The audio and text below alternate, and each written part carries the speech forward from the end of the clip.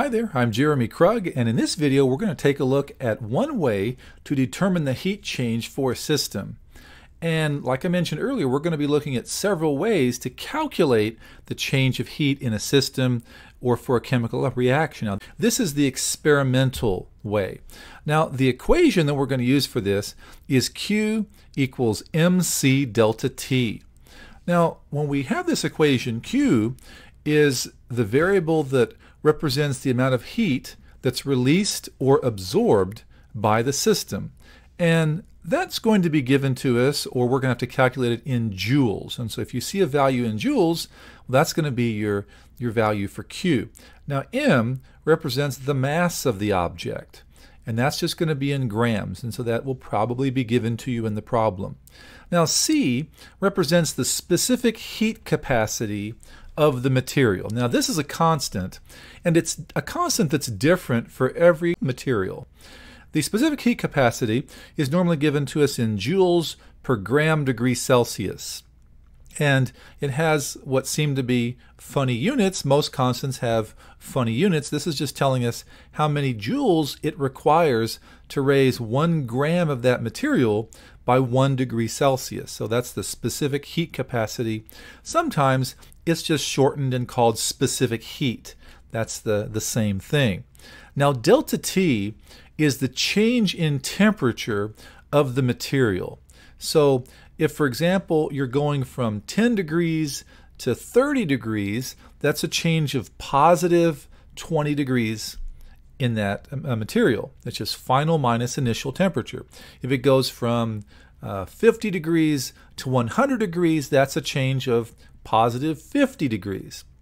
If the temperature goes from 70 degrees down to 10 degrees, well, that's a delta T of negative 60. So if the temperature drops, you have to realize that, that is a negative delta T. Now, let's back up here for a second and talk about specific heat. When I say specific heat capacity, a good way for us to think about that is to imagine specific heat capacity as a way to describe how well a material resists temperature change. How well a material resists temperature change. So here I have some uh, specific heat capacity values for some common materials. Now to illustrate this, let's just imagine that we have a, a pot of of, of, water and you're going to boil that on the stove and so you turn on a gas stove or an electric stove or something and you have the, the water on the on the stove in the pot and about 30 seconds after you turn the pot on or after you uh, turn the stove on rather you touch the bottom of the pot. Are you going to get burned? Probably a good chance you will right? Because that metal that's in the pot heats up very very quickly. Now on the other hand let's say uh, that you do the same thing, take 30 seconds after you turn the, the stove on, but this time you stick your finger in the water. Are you going to get burned? Probably not. And that's because water heats up much more slowly than the aluminum or the metal or the copper does in, in the pot. So this corresponds to specific heat capacities. Water heats up very slowly, and it likewise it cools down relatively slowly. That's why it has such a high specific heat capacity. It resists temperature change fairly well. On the other hand, take a look at these things like aluminum or iron or uh, copper. These are materials that are found in cookware, right? Because these materials heat up very quickly, they cool down very quickly as well. And so generally speaking, the materials that are on the bottom of this list, things like lead and gold, and honestly almost all these other things here, these are considered good conductors of heat. Whereas the matter or the materials that have the higher specific heat, these are going to be considered insulators. So water is actually a very good heat insulator. Ice is actually a very good insulator of heat as well. Perhaps you've heard of igloos. And that's uh, one of the reasons why they would build an igloo out of ice. A, a very good insulator, to be honest. Now, sometimes you may have a specific heat capacity, and these are given to you in joules per gram degree Celsius, but the problem might want you to convert this to joules per mole degree Celsius. If you're asked to do that, this is just a simple gram to mole calculation, just a simple conversion. And it can be converted very simply. If you do that, then you have what's called the molar heat capacity. So specific heat capacity is given in grams. The molar heat capacity will be in joules per mole degree Celsius. We're going to work a couple problems with these uh, equations or with this equation, Q equals mc delta T. We'll see how this is done. A 60.0 gram piece of aluminum metal experiences a rise in temperature from 20 degrees Celsius to 52.5 degrees Celsius. If the specific heat capacity of aluminum is 0.897 joules per gram degree Celsius, how much heat energy was absorbed by the aluminum? So once again, we're going to use Q equals mc delta T, and we're just going to plug and chug into this equation and solve. So Q is for heat, and that's what we're being asked to solve for. It says how much heat energy was absorbed. So we're going to solve for Q in this problem. M represents the mass of the aluminum, and the mass is 60.0 grams. So I'm going to plug that value in for M in this equation.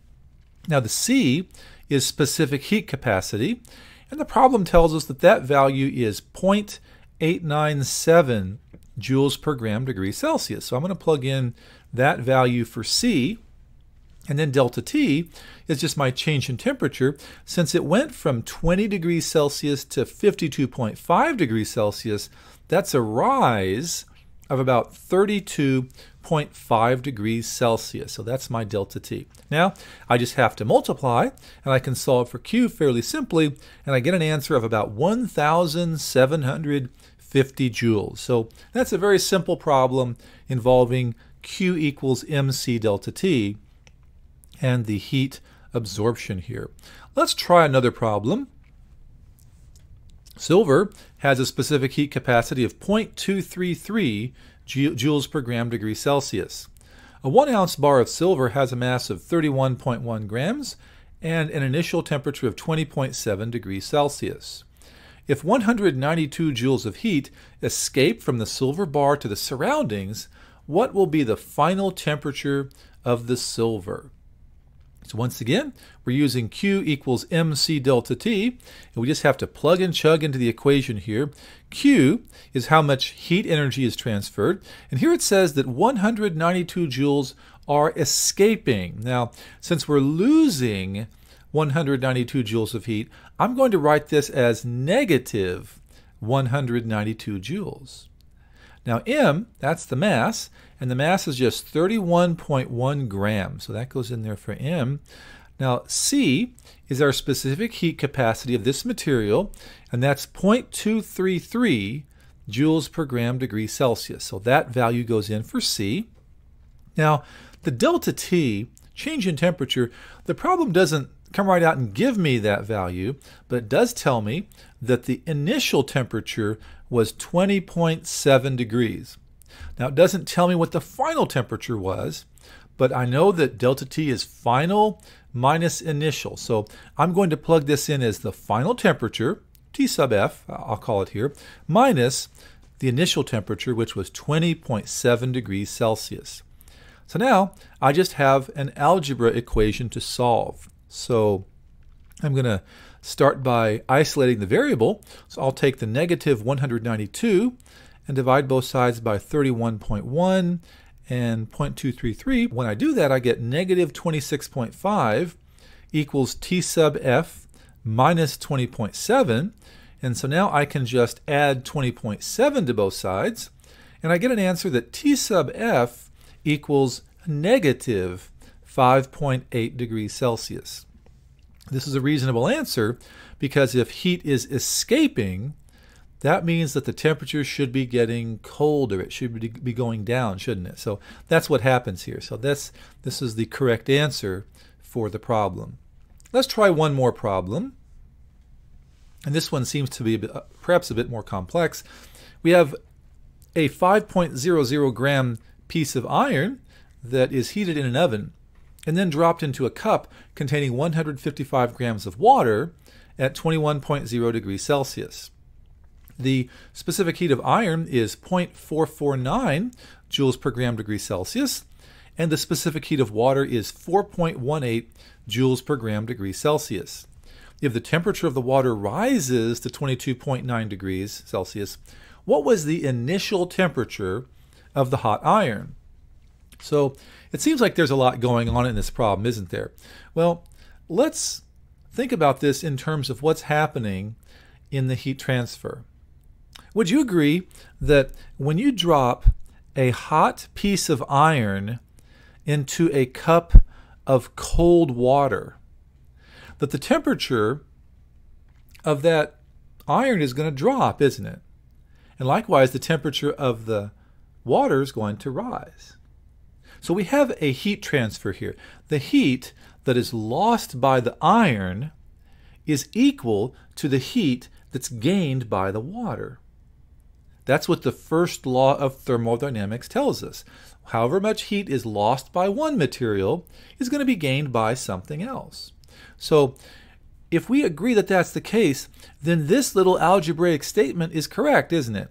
This is just saying that the heat, or the Q, that's lost by the iron is equal to the heat that's gained by the water. That's just a simple algebraic statement of that fact. Now, we also know that Q equals mc delta T. And that is an equation that I can use to make an algebraic substitution in here. For the Q, I'm just going to plug in mc delta T. So I have this equation that I've just basically derived. I have the negative mc delta T for the iron is equal to the positive mc delta T of the water. So now I just have to plug and chug and I can solve for the missing value. Now m is the mass of the iron, isn't it? So it says it's a 5.00 gram piece of iron. So I'm going to plug in the negative m, or that negative 5.00 grams, in that slot right there. Now C is the specific heat of the iron, and it says it's 0.449 joules per gram degree Celsius. So that goes in there for C. Now, let's think of the delta T for iron. That's the final minus initial. Now, the problem doesn't come right out and tell us what the final temperature of the iron is, but I think we can figure it out just from the information given to us here.